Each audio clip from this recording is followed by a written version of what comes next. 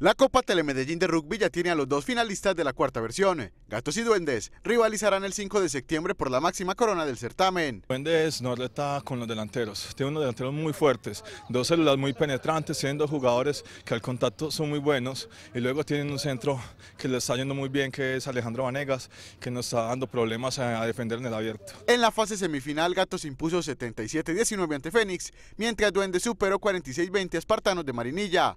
El Club Verde y Negro defenderá su título, mientras los azules y negros regresan a la disputa del mejor torneo del rugby en el país. Al final es otro cuento, contra Gatos jugamos hace 15 días, quedamos empatados 24 iguales, un real dificilísimo. La final de la Copa Telemedellín de Rugby 15 será el sábado 5 de septiembre a las 4 de la tarde en la Unidad Deportiva de Castilla, con transmisión de Telemedellín.